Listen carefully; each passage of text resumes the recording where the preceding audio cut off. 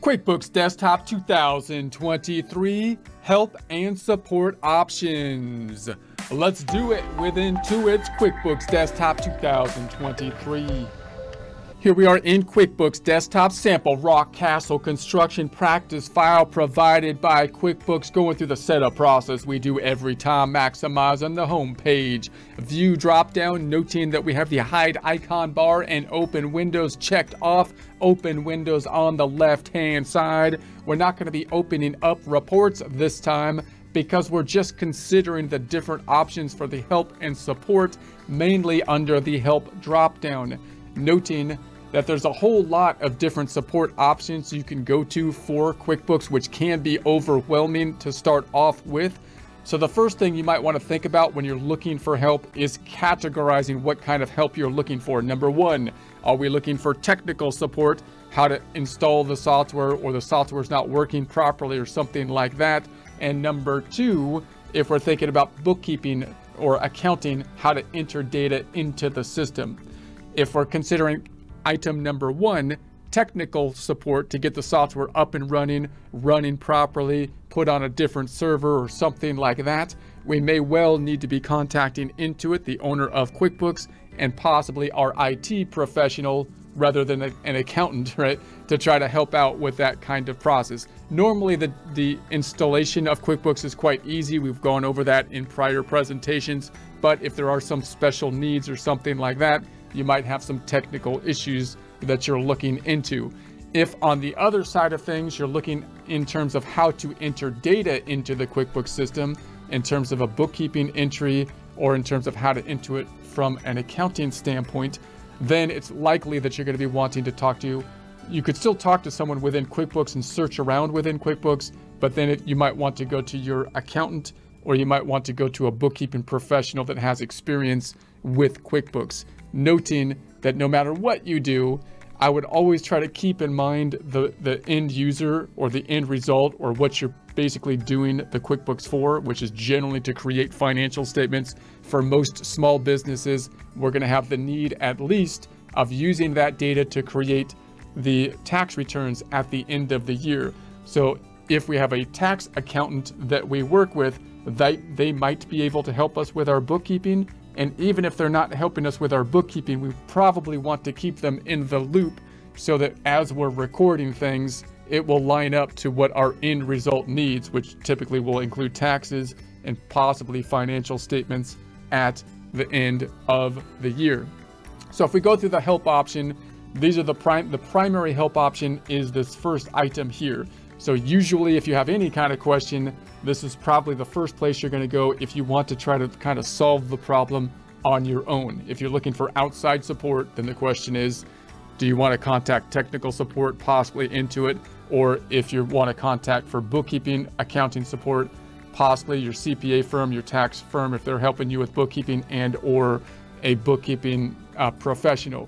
If you want to kind of look in your own self then you can research here. You can also get there with F1 on the keyboard, type in the topic up top.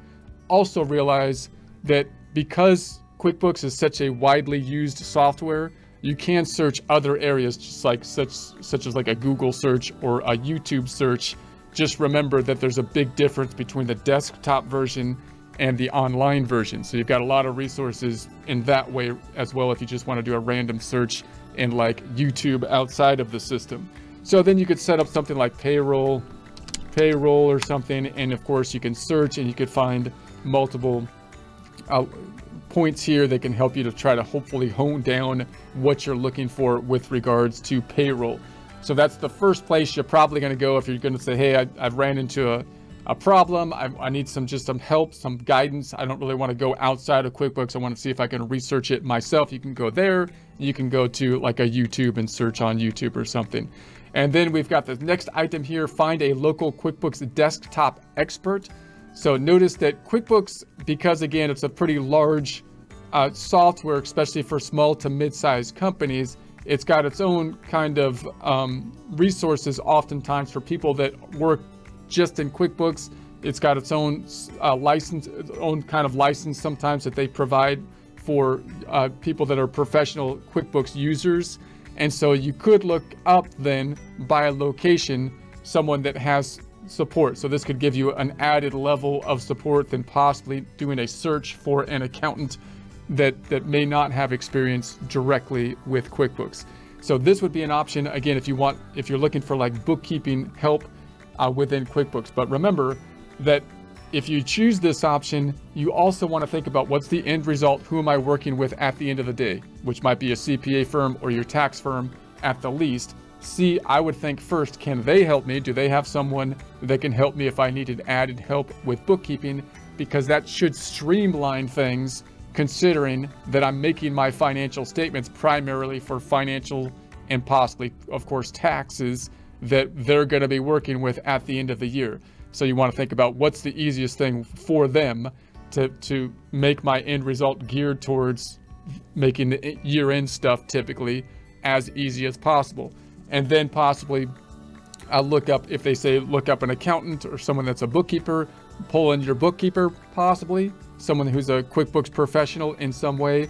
And then again, I would have them see if they can work with or have some idea of how you're going to be working with transferring data between them and your tax professional at year end. And then when you fill this out, you've got your options here by location, of course, and then the services. So you can check off the services basically that you're looking for. Industries can also be very useful to, to make sure that you're looking for someone in your particular industry because different industries have particular needs, uh, particularly industries that have a special kind of accounting need like a job cost system, for example. And then we got the products and services that you could search for as well here and then narrow down your searches and hopefully that'll help you to find someone in that case. And then we got the help drop down, send feedback, so product suggestions and so forth if you want to send that to the QuickBooks or Intuit, the owner of QuickBooks. QuickBooks Tool Hub, uh, fix setup and file issues. So this can be a place to go sometimes when you have technical issues Oftentimes, if you have a technical issue with the installation or something like that, and you contact someone from Intuit, they may use some of the tools here on the Tool Hub to help to help sort out some of those issues. We've got the internet uh, connection set up, so you can note that QuickBooks is on a subscription model when you go, I think, from 2022 going forward, and even before that, it always has continual updates the continual updates are going to be needing to update to the system. So for example, here I have 2023 software. Now, even though I, am not going to switch or update to 2024 software until next year, it still has updates that need to be made to the 2023 software. By default, those updates are going to be done automatically. So if you're working and you're online or you're connected to the internet, says here, use my computer's internet connection settings to establish and connect when this application accesses the internet. It'll set those, those up for you. You can change that, use the following connection. I do not have, uh, have a way to connect to the internet. Please give me more information on settings and so on. So you can try to change those if, if you so choose. And remember that one of the benefits of the desktop version is that you can do some work, you know, offline. You don't have to be online all the time, but in order to update the software, you, you need that. And notice that when you do update to 2024, or as we updated from 2022 to 2023, then we might have to go and get the full software and install the next year's version and then just update our data file as we saw in prior presentations. Closing that back out, we got the help then uh, new business checklist. Now this these are just kind of guides so these aren't really QuickBooks specific. Uh, in general, they're kind of guides that are useful. And you can try to say, okay, if I'm setting up a new business, if it's a new business that I'm putting together, you might want to go through their little checklist to see if, if you've done everything in the process in order to set things up.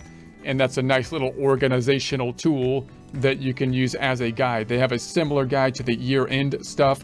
So noting that at the end of the year, that's usually the busiest, busiest time of of the of the year, of course, for accounting, uh, uh, for your bookkeeping needs and so on, taxes and whatnot, payroll. So you could go through the checklist for the year end, might be a useful tool. And then we've got manage my QuickBook account. So if you want to go into your QuickBooks account and manage it, you can go to it here, or you can go to the Intuit website and log in there.